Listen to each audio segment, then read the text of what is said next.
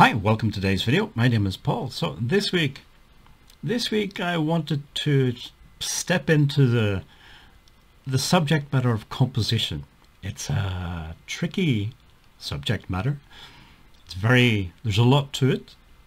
And also different people have very different ideas about composition. Even just saying the word composition is maybe enough for some people to click off the video. Um, there are sort of two extreme views on composition. So one view is that composition is vital.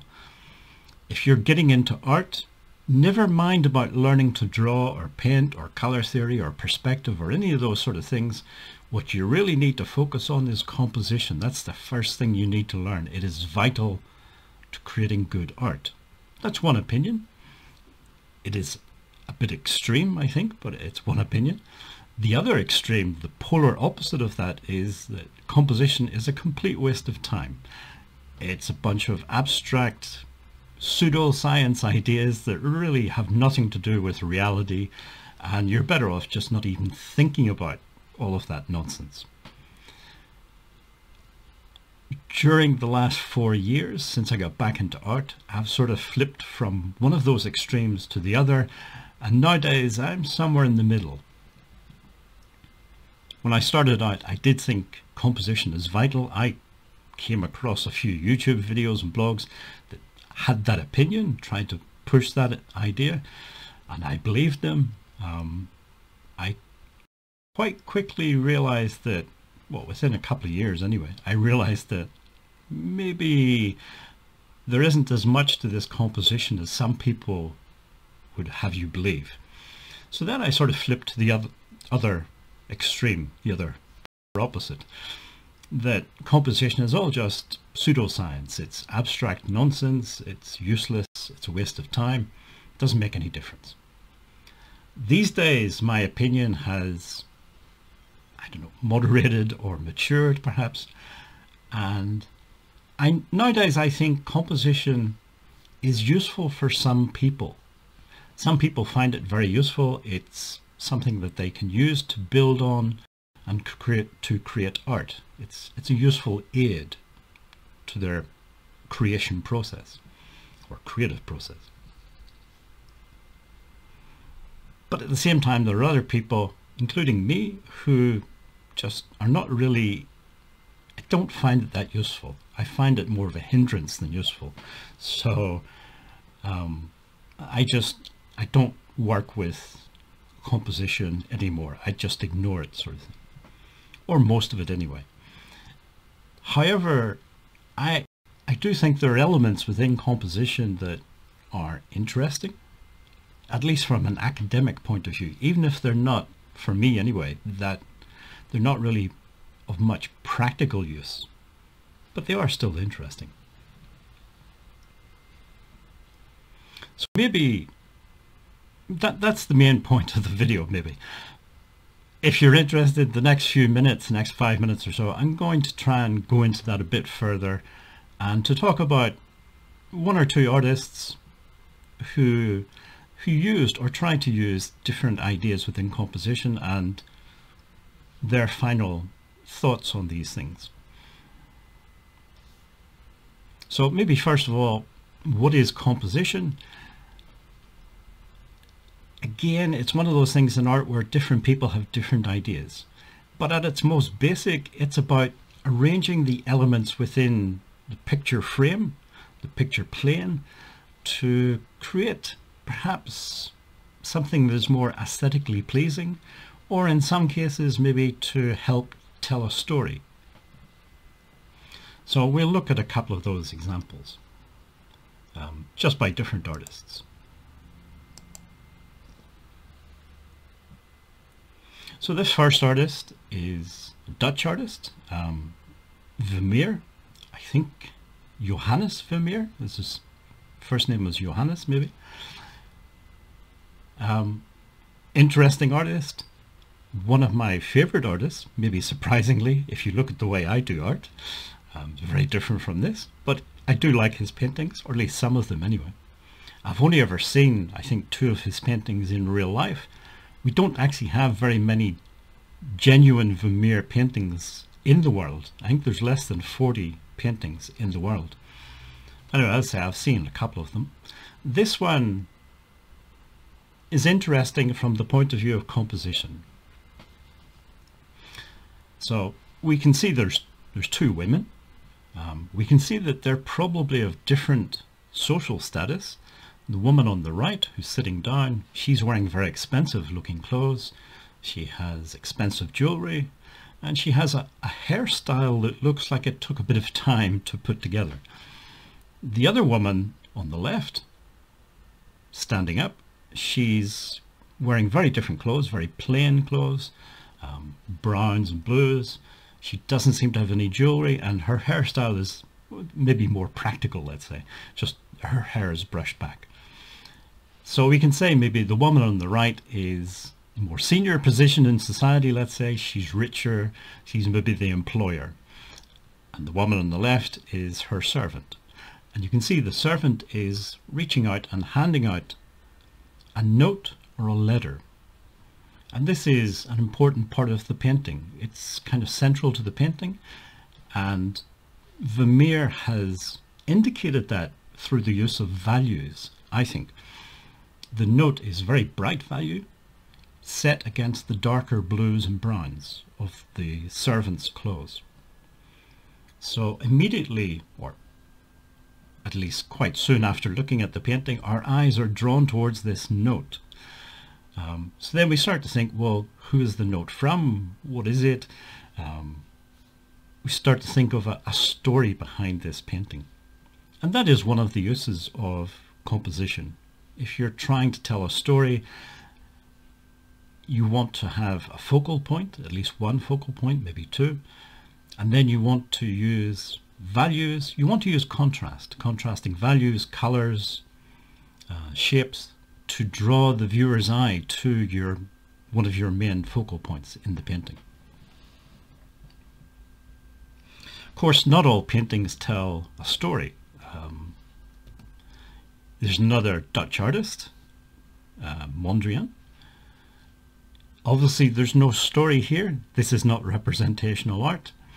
But there is still a sense of composition that the artist deliberately put down the lines and the colours, I say in a deliberate way. It wasn't by chance, it wasn't a random thing.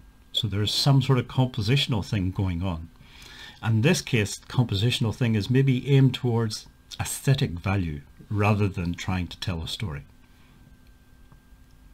the black lines, the vertical and horizontal lines, they're not equally spaced. Um, and of course, they create rectangles within the, the painting plane. And some of those rectangles he's left as white, but some of them he's colored. It's red, yellow or blue. So again, these are probably compositional choices. So that's how I think of composition. It's it may be arranging things for aesthetic values. It may be trying to draw attention to focal points in order to tell a story through the painting. It's using colors, it's using shapes and lines, edges, values, all of those different things come into composition. So it's not just about the positioning of things, it's about using all these things like colors and values and lines and so on. So as I say, composition is quite a big topic. It's a complex thing.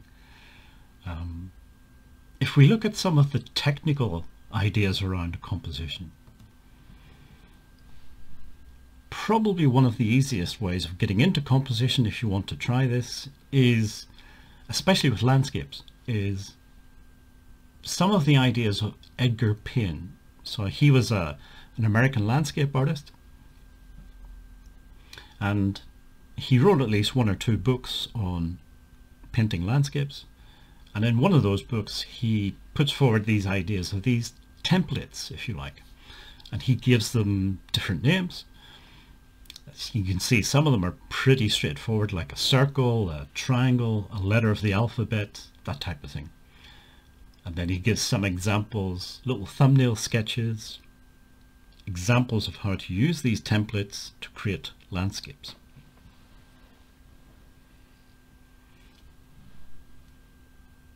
This is one approach, and this is probably the most the most approachable um, way of getting into composition if you're new to art or you're just getting back into art.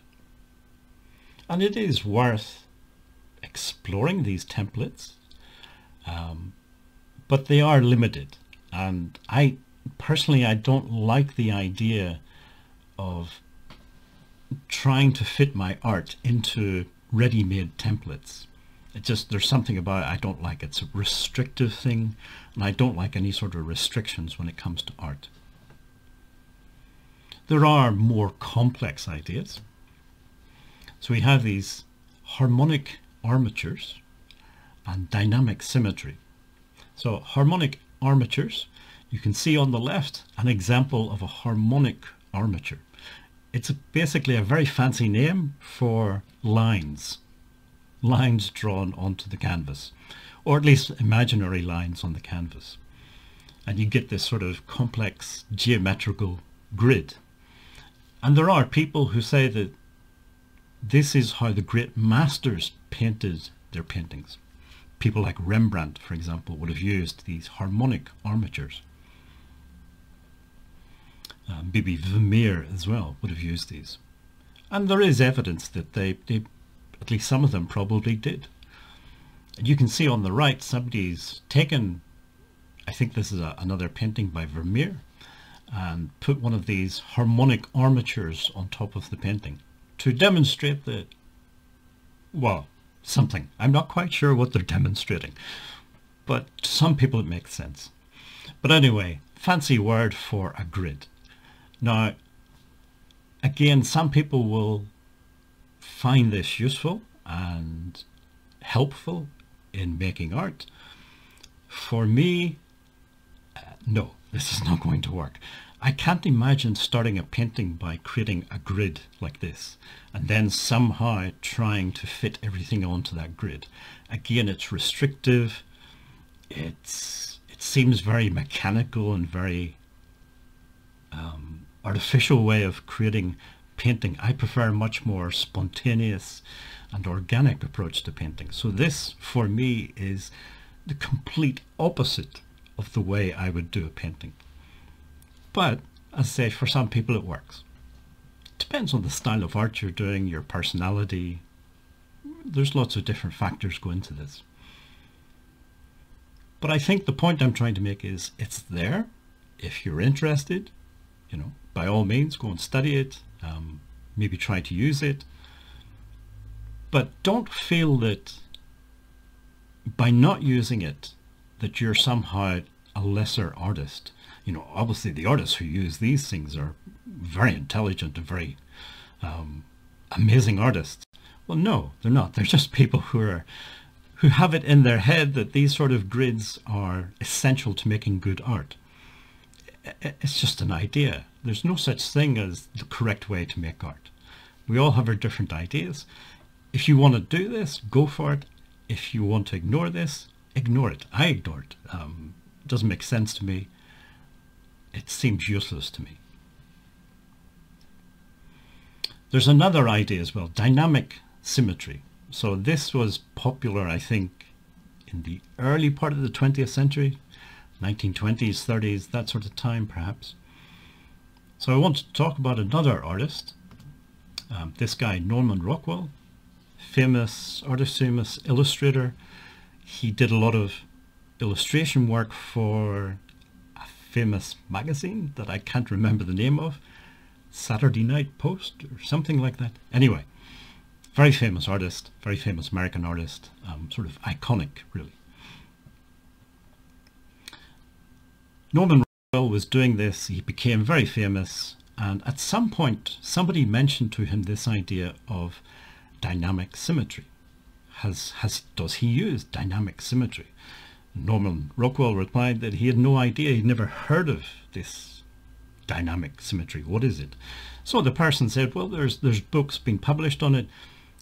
You should read these books. It's the latest thing. It's sort of science meets art. It's amazing. So Norman Rockwell went and got a book, started reading it, and became very interested in this idea, idea of dynamic symmetry. I should say dynamic symmetry is basically very similar to the harmonic armatures. It's this idea of using complex grids to help with composition. So Norman Rockwell started using, incorporating these ideas of dynamic symmetry into his art. And for about a year or so, he was doing this. Towards the end of that year or so, he started looking at his older work and this newer work and comparing it. And he came to the conclusion that all of this dynamic symmetry hadn't helped at all, not one iota. It just, it was interesting ideas, but his old work was just as good as this new work. So it's not that the dynamic symmetry hindered his ability to make art. It just, it didn't seem to do anything really. It didn't seem to have any great benefits. So basically he gave up on the idea, went back to just doing art the way he did for many years before that. Again, I think the main point is you know, all of these ideas, and they are just ideas, they're not written in stone, definite, this is the way you have to do art. Just different people have different ideas. If they help you, if you find them useful, then they are useful. On the other hand, if like me, you find them all a bit abstract and a bit useless, then just ignore them. And it doesn't make you a worse or an inferior artist in any way. We all just have our own way of working and our own beliefs and ideas and interests. And composition is like that. So that's the idea that I have about composition these days. It's interesting from an academic point of view, but I don't find it that useful really. There are some elements within composition, the idea of using different color schemes, edges, those things to me are much more interesting, but maybe not from a purely compositional point of view. Um, and certainly these, these sort of grids and dynamic symmetry and all of this harmonic armatures and things, to me that is just, I don't I don't get those ideas at all. I don't see how they would be of any use to me uh, in making art. Okay, well, I hope some interest. Um, if you made it this far in the video, uh, thank you for watching and listening, and hopefully see you again in next week's video.